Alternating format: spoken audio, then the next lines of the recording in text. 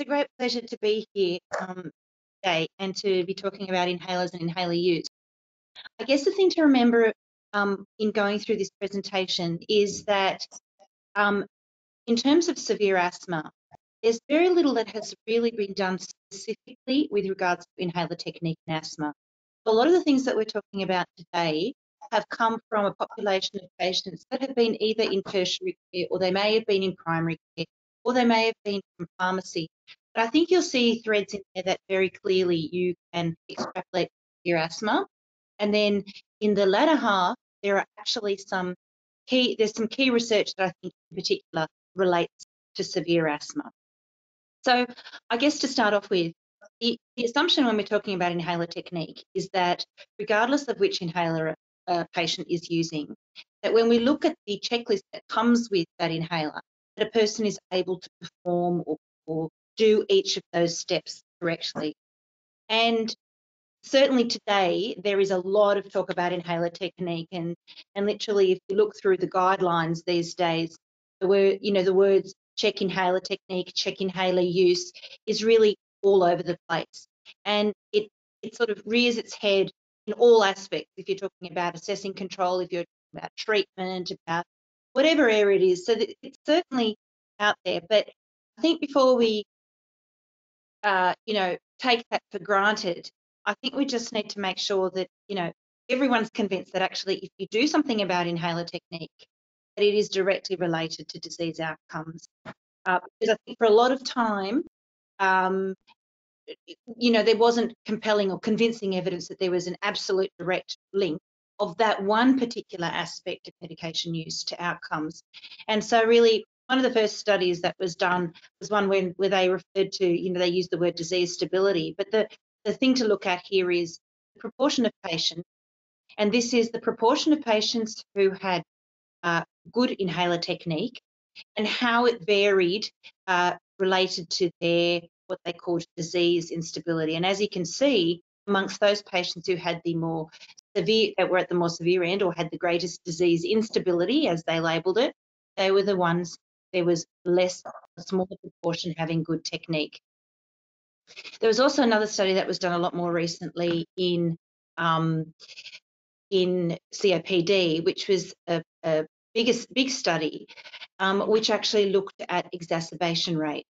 And what they found was over a three month period, those patients that were able to use their inhalers correctly were basically half as likely to have an exacerbation in a three month period.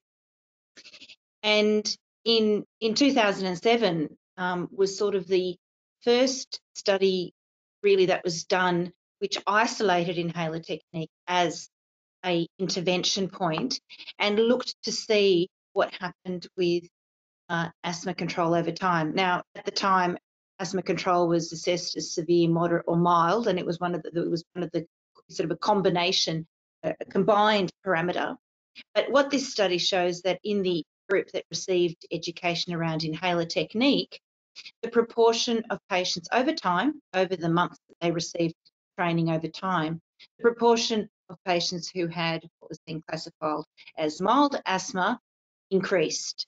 And this was just doing an intervention around inhaler technique. So it was convincing that it definitely had an independent role to play, as independent as a study can show. Now, there's a lot of research that shows that improving inhaler technique can improve disease outcomes. And so, of course, given the evidence, given the mentioning of this in, in the reports, you know, what, what's the problem? Well, the problem is that even the most recent data, if we look at the proportion of patients who demonstrate correct technique, in essence, it's still pretty low. And it's it's low uh, now and it has been low for a long time. And this is a I, I really like this review, which was published in 2016. And what the authors did was they, I mean, there was lots of different studies, and the aim of these studies was not specifically to intervene around inhaler technique, but these studies were monitoring inhaler technique, and it did include both uh, patients with asthma and in COPD. but a very large number of patients here. You can see over 50,000 patients. And they categorised patients' inhaler technique as correct or poor or acceptable, and they had their own definition. Um, and we don't need to go into that. But what we need, the main message is that essentially things have not changed over time. So, in thinking about this, you know, we need to consider well, what's going on with these devices?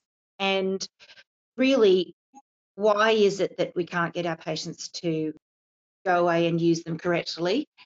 Um, and what are the subtleties and the differences that are important in these devices? And I think it's important to go through some of this because, especially as new devices become available, very often the pharmaceutical companies will promote their device has fine particles or it has low resistance or it has something else. And I think it's important to consider what are the aspects of a device that we need to look at in its entirety. So the first thing that is that we know is that depending on the different device, and there's just examples of three here, the amount of the delivered dose that actually gets deposited into the lungs varies based on the formulation and the device itself. And so, you know, you, there's not going to be an equal amount that comes out from each inhaler that's actually delivered into the lungs. But of course, dosing takes account of that. What we really need to think about, and what you might often hear spoken about when, when um, companies come and talk to you about their devices, are really four main characteristics. The aerosol velocity, the aerosol duration, particle size, and internal device to resistance. And we're going to have a quick look at each of those. So aerosol velocity really is how quickly does the aerosol come out of the device. So obviously that directly relates to metered dose inhalers.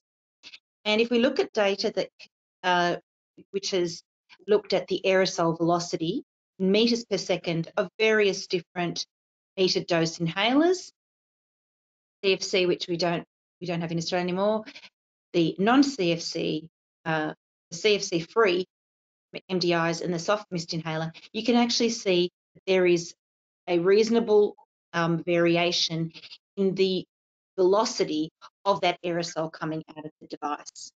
I mean, I always think it's fascinating to look at this. This one comes out at eight meters per second, which I just think is so fast. Then we have the aerosol duration. And so this is how long does it take for that dose to be delivered or that aerosol to be delivered. So once again, this is directly related to metered dose inhalers and the soft mist inhaler. And if you look at the research, it once again shows in, in seconds how quickly that dose or that aerosol spends delivering that dose. Then particle size, of course, that determines how deeply a, uh, a the particle will get into the lungs, and we know that there's a respirable um, range, and this this um, this kind of data has been available for a very long time. Of course, particle size. The larger particle, the uh, higher up in the airways they're going to get delivered, and really for the device or the inhalers that we're looking at, it really we're looking at this range between one and five uh, microns. That is optimal for uh, alveolar region delivery, and that uh, and that obviously makes sense. And then we have the internal device resistance, and that's really the relates to the way in which the air needs to pass through the device during dose administration. And this is only related to dry powder inhalers. Because what happens in dry powder inhalers, if we actually think about this part of the uh, diagram being what happens within the device, and then this is what happens when it's actually coming out of the device. What actually happens is the drug is formulated a way that it's really basically clumped together along with excipients, carriers, etc. And it's not possible to formulate particles in dry powder format form, formulation that are so small. They'd stick to the inside of the inhaler and they'd never come out. That's why it has to be formulated sort of in clumps. But what happens before it's actually delivered in sort of separated uh, drug form is that, of course, the patient inhales. And as part of that inhalation process, the particles get um, these particles get uh, broken up and we get free particles which separates out the, um, the drug. So you have disaggregation that happens as a part of that flow through the inhaler. And different inhalers have different internal resistance. In other words, for different inhalers, a different level of inspiratory flow or effort is required. And so if this is an inhalation profile, the patient needs to inhale deeply and, and uh, as hard as possible when they're um, inhaling medication. Often what we find is that most of that happens in that first bit of the inhalation. That's where the drug gets broken up, or should we say that conglomerate gets uh, dis disaggregated. So inspiratory flow is very important for dry powder inhalers. And this is just a uh, graph which looks at flow rate and the inspiratory effort for different devices. And you can see it varies. For some devices, like the Turbuhaler, you'll actually, the patient needs to use more effort um, as their flow rate increases. So that's an important consideration. So when we come back to this and the fact that manufacturers have determined that in order to uh, administer the optimal drug delivery dose, there's a certain number of steps. It's important to consider what errors are common versus what errors are actually critical. Because for many years, we said patients need to do all these steps correctly because we didn't have the evidence to really definitively say which one of these steps, if the patient didn't perform it correctly, was directly related to a clinical outcome. So this is a study that looked at metered dose inhalers and several dry powder inhalers, and it looked at the different types of errors. And different studies will show a lot of variation in different errors. And so the types of errors that we see are errors that might be associated with preparing the device, errors that might be associated with how the device is positioned, errors that are associated with the breathing maneuver, and errors that are associated with coordination. And of course, not all of these apply to every inhaler. And we know which errors patient uh, is more likely to do because there's lots of research that looks at common errors. The other thing that's important to remember is that regardless of which device we're looking at, patients will often make more than one error, any one of these. So they're likely to, in fact, if you look at any of these devices, um, most of the patients are making more than one error. Question is, which error is critical? Does it matter whether a person makes a particular error or not? And there's there's only one really comprehensive study that looks at which particular inhaler device errors result in an impact on clinical outcomes, so asthma outcomes. And this was a study which involved 5,000 patients, but there was only a large enough sample size to be able to do analysis on three devices, the Turbuhaler, the Accuhaler, and the metered dose inhaler, the metered dose inhaler. And as you can see here, these were the list of steps that were identified as being related to asthma control. So if patients were making these errors, they were more likely to have poor asthma outcomes. However, in addition to that, patients may have also been non-adherent and a whole range of other things. So when you take out all other confounding errors, we get left with a limited number of errors, and they are the preparation of the dose and inspiratory effort for the Turbuhaler, inspiratory effort for the Accuhaler, and head positioning and coordination of the inhalation and actuation. So out of all the errors that are there, this study was actually able to articulate that these are the errors that are that in particular are related to disease outcomes. So even if we know everything about the device, we, we know how to train patients, we know exactly what we're getting, how does the patient fit into this? And obviously, there are patient characteristics that are going to impact on inhaler technique. So there's a very, very intimate relationship between the patient and their device. And that might be related to their physical ability to use it, or their, if they have a disability, their dexterity, their inspiratory effort. And I'd like to put here also how consistent it is and what happens over time and their cognition. So let's have a look at some other things that are important. The other thing that sometimes gets taken for granted with inhaler technique or inhaler use, and Tim's going to go into adherence, but for a patient, you know, it's essentially how they use their inhaler, is also this idea of what are they what do they believe where they where they believe their condition is at and how poorly controlled etc now i know today is about severe asthma so i guess in some ways if we just look at the data that looks at those people who have poorly controlled symptoms which is the grey bar here, and it's also um, on this graph, it's actually um, this one here. What we find is that 50% of people who have poorly controlled asthma think that their asthma is well controlled. And so patients are not going to probably come and say, well, we've never heard of patients coming to say to us, my device isn't working properly or I, I, have problems with my device because they may not necessarily recognize it. And also they have beliefs about their medications and we've got some data to show that that impacts on their inhaler use. First of all, we know that there's there's a high proportion of patients who don't take their medication every day and that, that can range from 20% if you look at some community studies all the way up to 60% who may be taking their inhaler regularly. And then they also have other issues around it. They find it a nuisance, they feel embarrassed about it, they feel embarrassed carrying it around, and a small proportion actually might say that it's difficult to use.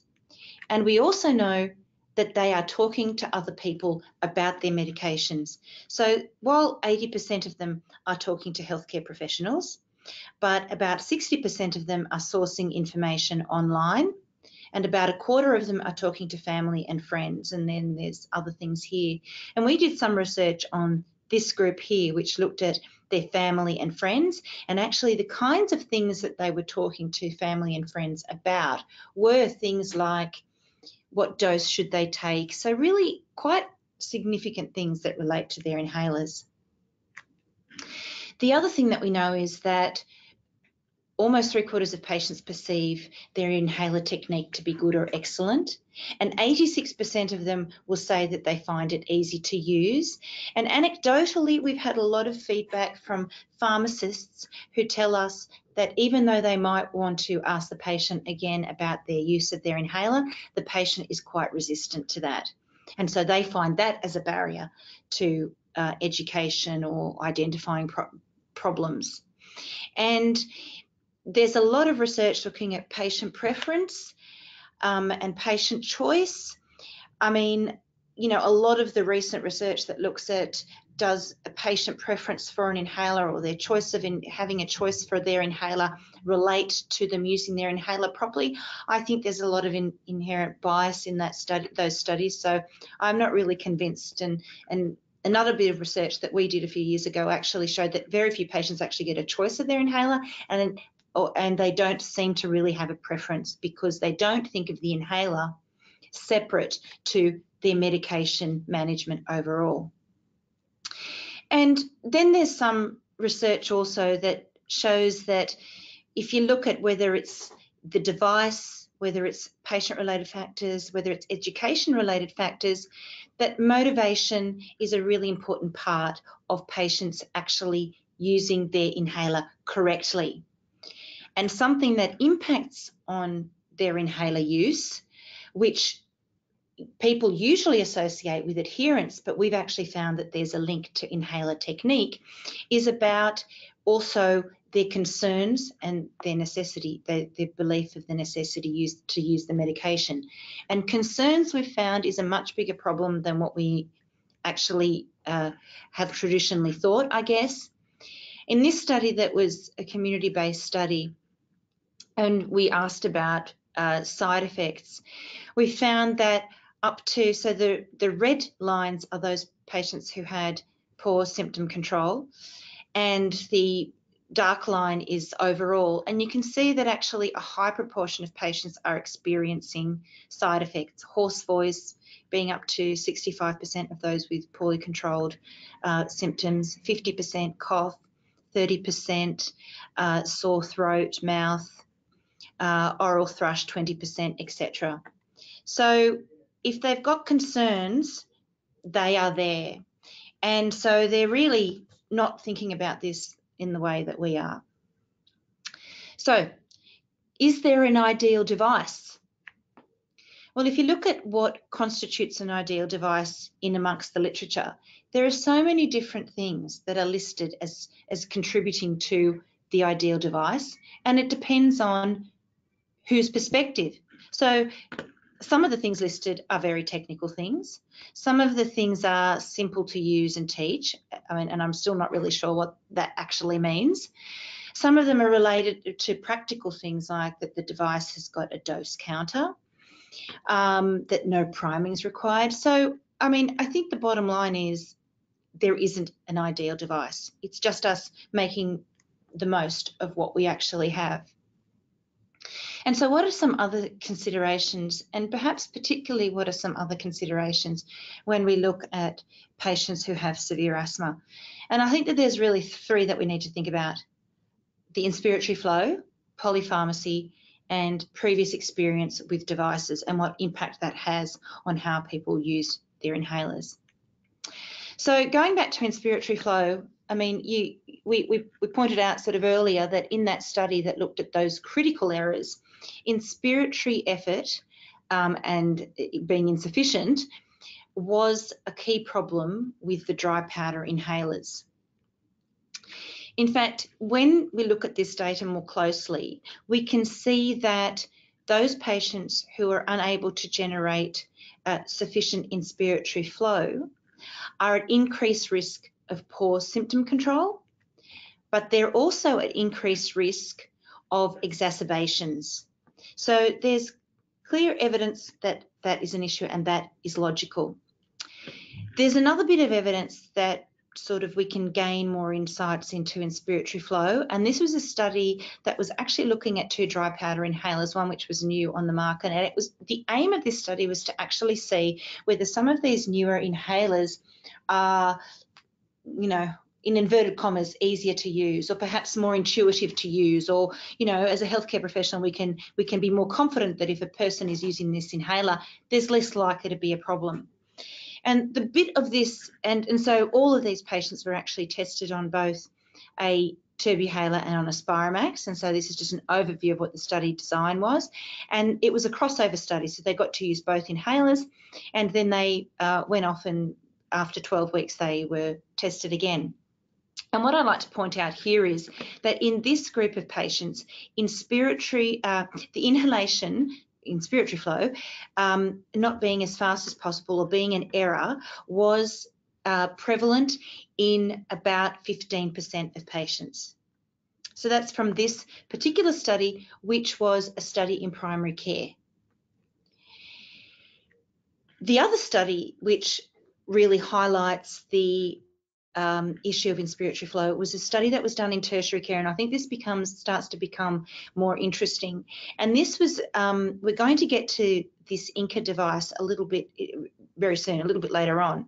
But this is a device that actually was um, developed by uh, Richard Costello, who's a respiratory physician in in Dublin, and he I think it's a great story. He was working with uh, his schoolmate who was actually an engineer, audio uh, engineer, and together they developed a add-on device uh, which was which you can put on a AccuHaler at the time, which through audio could determine whether a patient was actually performing each step of the inhaler use correctly.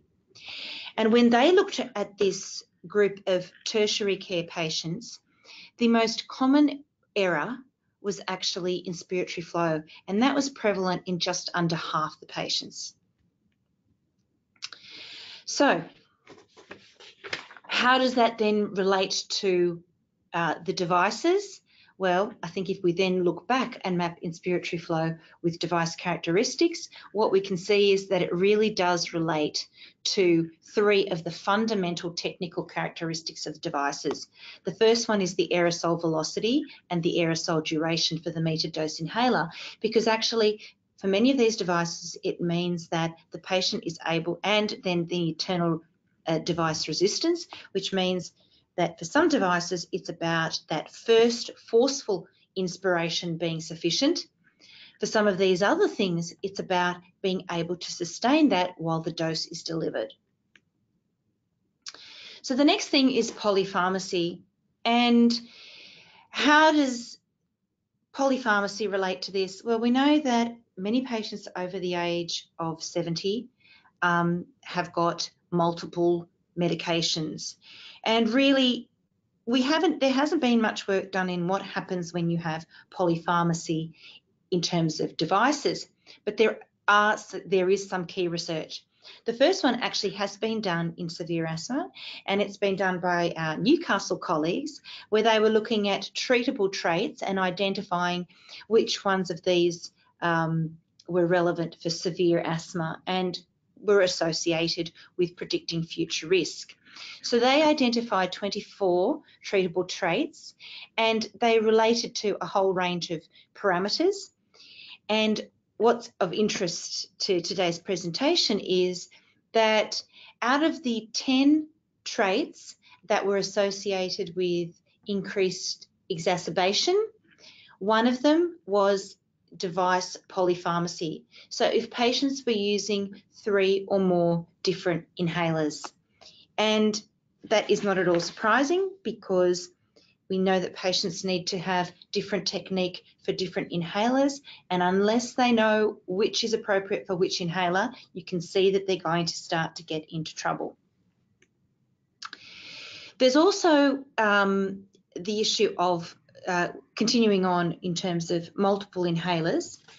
And um, what we know is that if we just think of this, patients are going to have experience in using more than one type of device. So what's going to happen if they've been using one particular device, then they switch to another device and then another device is added on, etc., etc. What is the impact of switching and what is the impact of adding on? So we did a study um, a couple of years ago, which looked at, it was once again looking at how intuitive devices were to use, but this study method actually allowed us to look at what happens when you switch devices. So this was a study that um, in which uh, patients were naive to, or users were naive to the device, and then they were they first used one device and then they were switched onto another. They were randomized into which device they used first and it was dry powder inhalers. And so once they'd had one device and they had an error, we actually looked at different levels of instruction to see how much instruction they needed to get. But the bottom line is when they were asked to use a particular inhaler, we kept on training them until they could use that inhaler and then they went to the next inhaler. So what did we find? And this was a longitudinal study, but I'll only show you the results for visit number one. So what did we find? So this is when they first used the inhaler without uh, any training. This is intuitive use. We've labelled it as intuitive use. So when they used the Turbuhaler first or second, which is the blue, or when they used the Spiromax first or second, which is in the grey. So when they first picked up the Turbuhaler and used it, 1% of the sample was able to use it correctly. But if they'd used another inhaler first, were trained, and then went to use the Turbuhaler, 12% of participants were able to use the inhaler correctly once they'd been shown how to use the other dry powder inhaler first. And similarly with the other, with the second dry powder inhaler, 9%, and then that went to a third of them. So the bottom line is there is a carryover effect and patients will remember something from a previous inhaler and will probably carry it over. Another study that looks at multiple inhalers is uh, a study that we we did looking at a COPD population this time. So this was an observational study and this was from data that was collected in uh, a, a, sample of a database of 71,000 patients. And we divided those into patients who were using uh, or uh, using switching devices, but devices, oops, devices that were either similar by looking at some of their use characteristics or whether where they were mixed, they were different. And so this is looking at similar, those that were put on similar and those that were switched. And what and here we look at some uh, outcomes, acute use of oral uh, corticosteroids, antibiotic use, uh, SABA use, and uh, consultations related to COPD. And what you can see is that patients who were switched on similar to device that was similar were better off in terms of these particular outcomes. So there's definitely something about what people have used before and what they are using and, and getting the technique.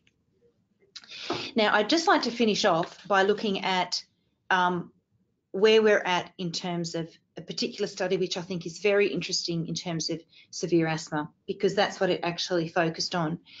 And this is this INCA device. So this was, was done by Richard Costello and his colleagues in Dublin. And this is how the device actually looks. Um, and they have now um, developed it for some other inhalers.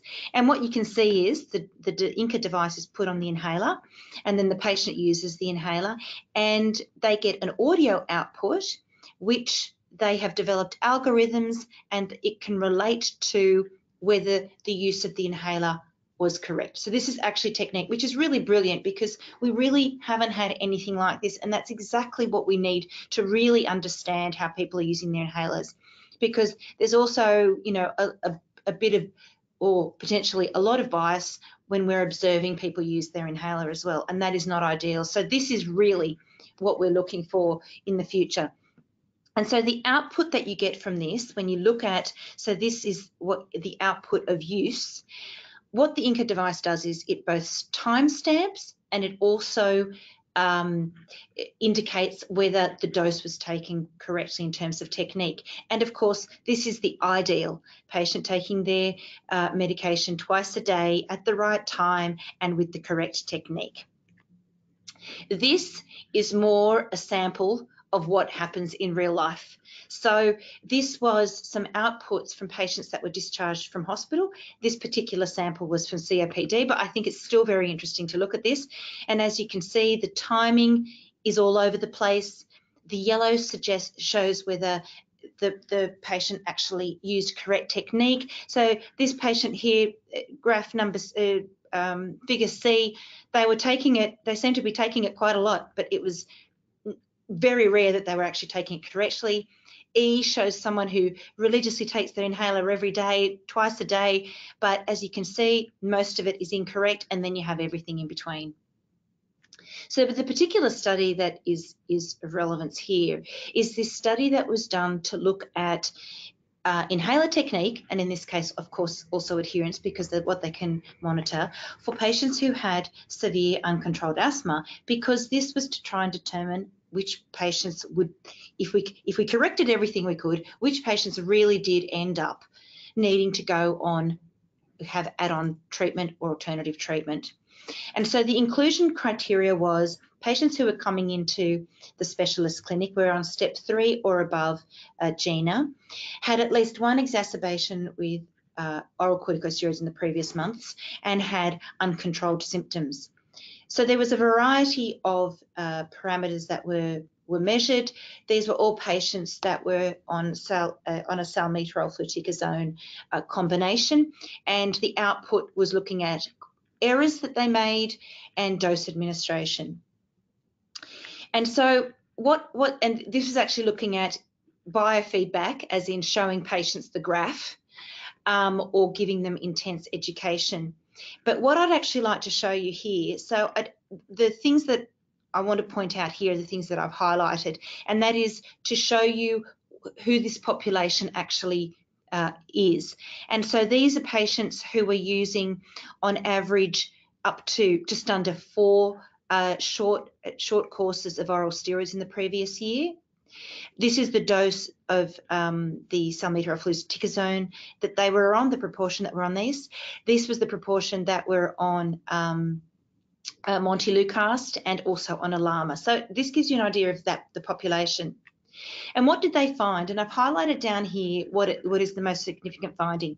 So I have to acknowledge that they found that by giving patients uh, visual feedback, um, after three months, they found that 73% of them could use their inhalers correctly compared to intensive um, education. But the other interesting thing is this. By the end of the study, which was a three-month study, asthma was either stable or improved in 38% of those patients who had previously had uncontrolled, but they were poorly adherent. And it was uncontrolled, but they had good use of their inhaler in 27%. So the bottom line was that that in the end, after improving their use of their inhaler, they were able to find that 27% of their patients still required some sort of add-on therapy.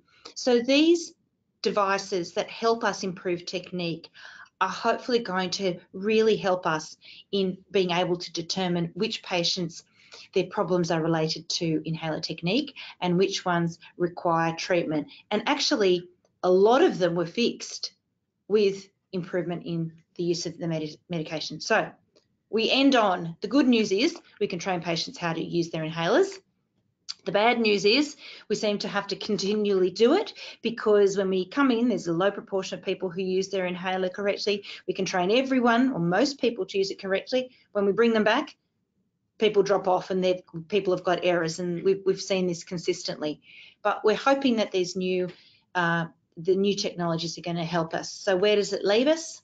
Well, I think at this stage it leaves us with, we can probably assume that a lot of people are going to have problems with errors. Inspiratory flow is something that, you know, we we acknowledge that it's going to interact with the device in a major way. And we really have to try and think of how we can uh, prescribe inhalers that are less affected by inspiratory flow. Um, we don't rely on a patient coming forward and polypharmacy and these learnings are going to be important when patients start using a new inhaler. And with that, I'd like to finish off.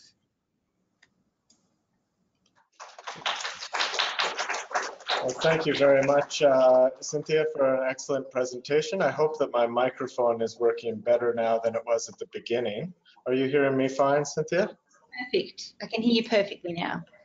Fantastic. So uh, we're right at the 40 uh, minute mark. I was wondering, there's one question so uh, in the in the panel online so far. I wondered if you could just speak really quickly to uh, um, the issue of uh, what you mean when you're discussing uh, GINA control levels and uh, in relation to inhaler device use. Um, so, in, I mean, is that um, in terms of the GINA questions that are recommended for um, determining control? Is that is yeah, that what you mean? Or, that's correct. yeah. yeah. Yeah, so I mean, I think a lot of these studies, what they try and do is they try and really relate to the GINA questioning about uh, symptom control um, to try and just so that we, we have some data which is universally accepted in terms of how we're assessing symptom control. So, um, I, I, mean, that's that's what we're relating to, and um, you know, because the symptom control is really a snapshot. Um, a lot of the times that's all that we really have um, in terms of inhaler technique and when people come back. But we, but we of course are trying to look at future risk as well. And you know that that's we're evolving in terms of that. And some of these studies also look at you know are looking at future risk. Thank you for that, Sinthia. And I think uh, now we'll we'll save uh, the rest of the questions and discussion discussion for uh, after Tim's uh, presentation here. Thank you again, Sinthia, for your presentation. Pleasure.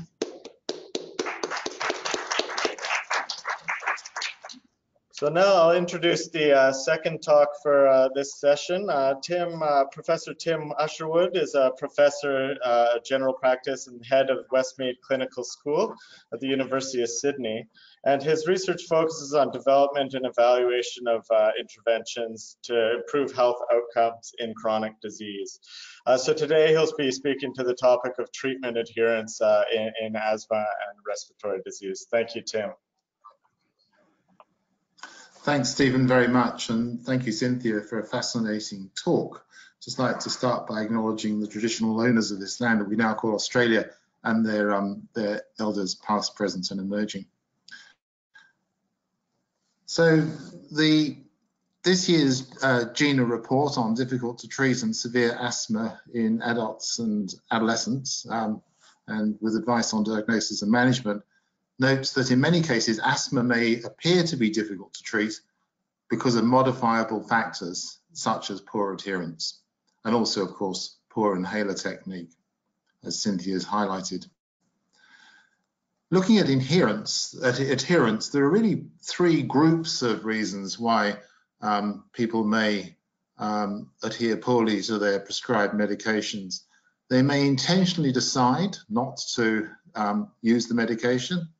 There may be personal attributes that make it difficult for them to use the medication, or there may be external constraints that limit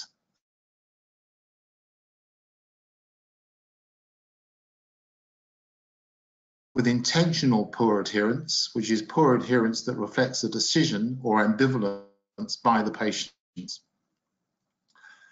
In the case of asthma, um, uh, Juliet Foster and her colleagues at the Woolcock Institute um, did a study some years ago uh, looking at patient-specific beliefs and behaviours for conservation conversations about adherence in asthma.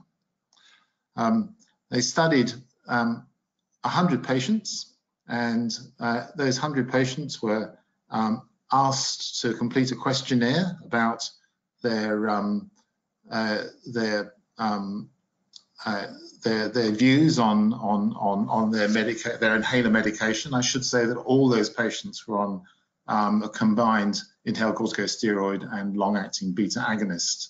So they're asked their views about their medication.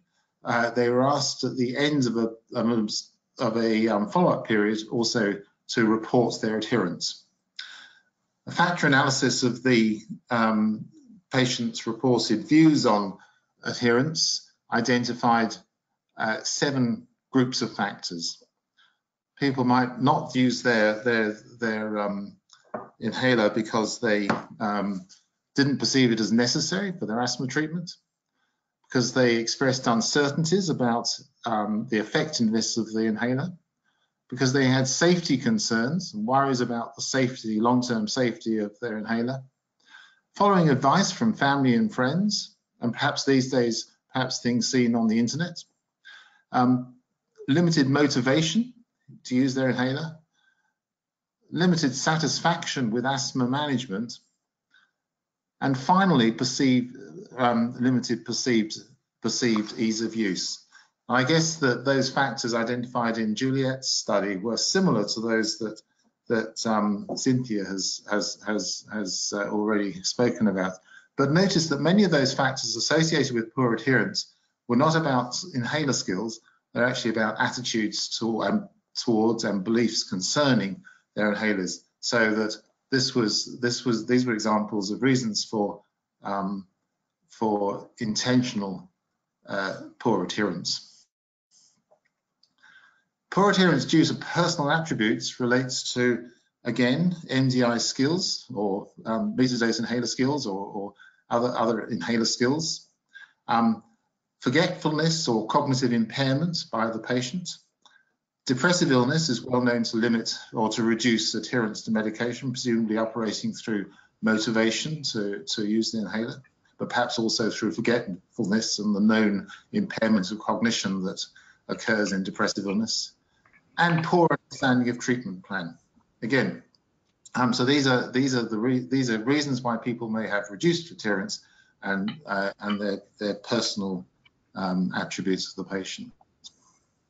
Finally, there may be um, reduced adherence to, due to external constraints. Um, so cost is an important um, uh, um, barrier to adherence for some people. And I'll just take you to the next slide for a moment and show that um, this is an impact, the impact of cost on um, on uh, adults collecting prescribed medications, not just asthma. I couldn't find anyone any relating specifically to asthma, but across all prescribed medications, um, the uh, the higher your index of disadvantage, uh, the higher your probability of not collecting prescribed medications due to cost. Cost is an important barrier to um, to adherence. Other external constraints on adherence. Um, so other access difficulties, just difficulty getting to the pharmacy, and also regime complexity. And I think that's an important external um, constraint that uh, Sinthia's mentioned, and really in the context of, of treating asthma with um, metered dose inhalers, there are three components to that. There's the um, number of inhalers prescribed, and Sinthia identified that um, more than two reduces adherence. There's the um, frequency with which the inhalers need to be used. And there's also the fact that if you have inhalers that require different techniques, so perhaps an aerosol-driven metered dose inhaler versus a dry and plus a, a, dry polar device, a dry powder device, so the patient needs to use two different inhalers with two different techniques, then then that can um, is associated with reduced adherence, or at least reduced um, effective use of the inhaler. So against that background model of, of, of, reasons why a patient's adherence to their medication might be limited, might be poor, then um, how do you detect it? Well, I think the first most important point is ask. You should ask at every consultation.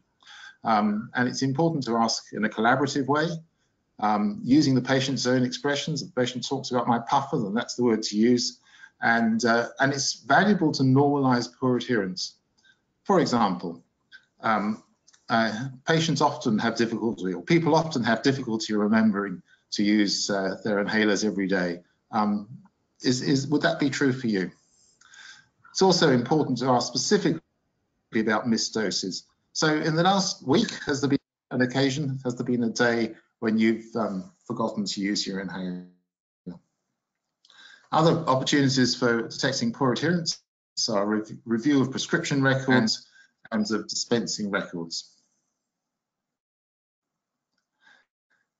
Going back to that study that I mentioned earlier by Juliet Foster and her colleagues, um, not only were patients asked their beliefs about their inhalers and um, to self-report their um, use of uh, their inhalers, their adherence, but they're also asked to complete um, a formal adherence behavior score, the Morisky score.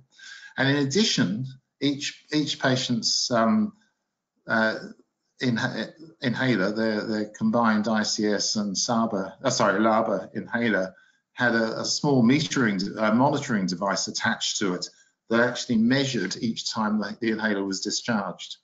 Now, patients obviously knew that that device was there. It wasn't told them that they were monitoring their their um, uh, their adherence, but um, they were advised that the device would keep track of their treatments. So they might have had some insight that uh, this device would be um, tracking their use of their inhaler.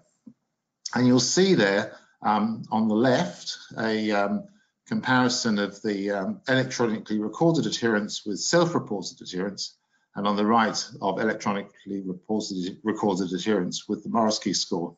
Looking first at the graph on the left, the um, uh, labeled A, then it's clear that there was a group of patients who had poor adherence, but nevertheless self-reported 100% adherence. Um, so some people, for whatever reason, won't report limited adherence of their inhaler. But amongst those who didn't self-report 100% adherence, then there was a fairly good correlation between electronically reported, recorded adherence, objectively recorded adherence, and self-report. There was actually a correlation between the Morisky score and electronically recorded adherence as well, but it was far less marked.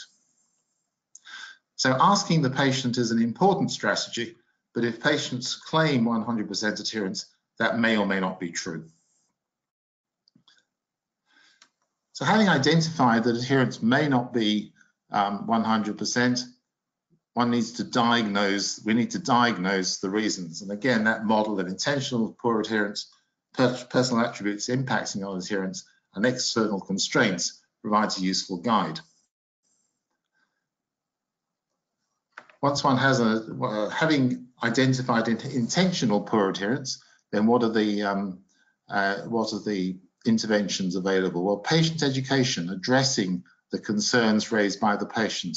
They have concerns about um, effectiveness that can be that can be discussed. If they have concerns about side effects or potential side effects, um, that can be discussed. So patient education is important. Printed handouts can support patient education.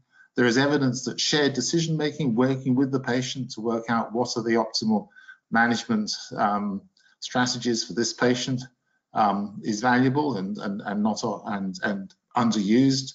And motivational interviewing has also been shown in some circumstances to be helpful intervention to address limited adherence. Terms of non-intentional poor adherence, that's personal attributes and external constraints, then what are the opportunities? Well, discuss regime complexity. If it's possible to reduce the regime complexity, that's valuable. Perhaps reduce the number of inhalers to no more than types of inhaler to no more than two, and to make sure that they're both of a similar type. It's not always possible, but it's ideal. Uh, written asthma action plan, um, often seen as an intervention to assist with with um, with uh, exacerbations, and of course that's important, um, and there's evidence to support that, but also it provides a, a, guide and a reminder to the patient to support to their routine use of inhalers. Um, worth recruiting uh, support from the pharmacist, uh, and in fact the pharmacist, the prescribing doctor and other members of the care team should work together with the patient. Reminders, um, setting the phone as a reminder twice a day to, to use the inhaler has been shown to be beneficial, at least over a period of times and weeks. And there is emerging evidence um, of, for text messaging as a way of, of reminding people to continue using medications and and to um, uh, and and um, and and to adhere to their their prescription. And finally, and I think I would uh, reiterate what um, Sinthia said, checking inhaler technique is really important. And it's really something that prescribers should do at every consultation. It's ideal, of course, as a dispenser, the pharmacy pharmacist can do so as well, but it's an important uh, um, job for the prescriber.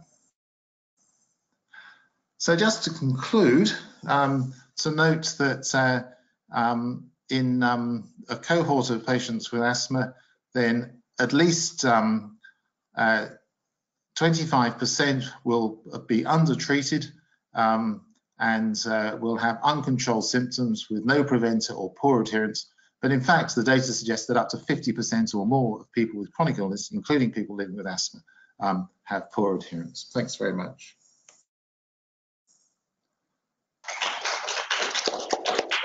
Uh, thank you very much for that, Tim. Um, so I'll just switch to the view here on this slide.